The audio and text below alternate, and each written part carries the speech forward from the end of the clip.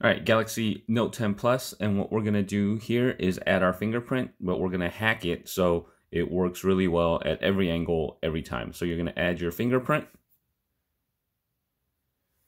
And from here, you have your scanner, and you're just going to pick different angles. So I'm doing the top, the bottom, bottom center, top corner, and you're just moving your thumb around in as many places as you can. So up,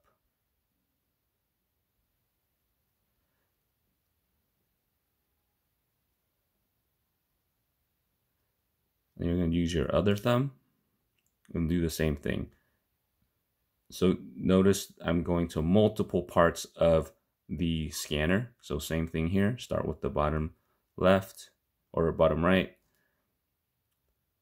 top.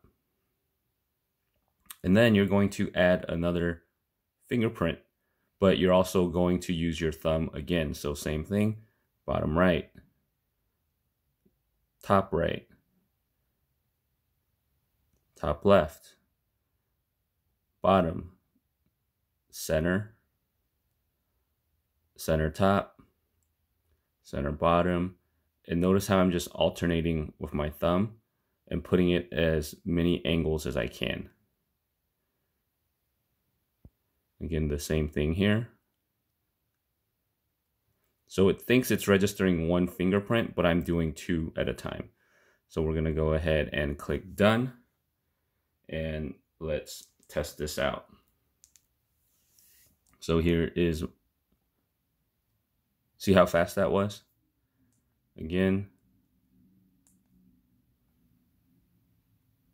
super quick.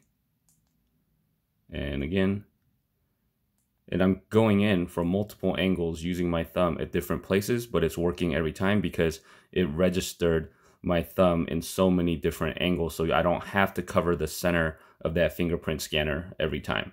So add your thumb two or three times, but alternate between the two thumbs going at different angles, starting with the bottom right corner top right corner, top left corner, bottom left corner, upper center, uh, bottom center, cover the whole thing. But as you're doing that, again, it's just picking up your thumb in so many different ways that it's going to unlock really quickly and give you um, a good clean reading every single time.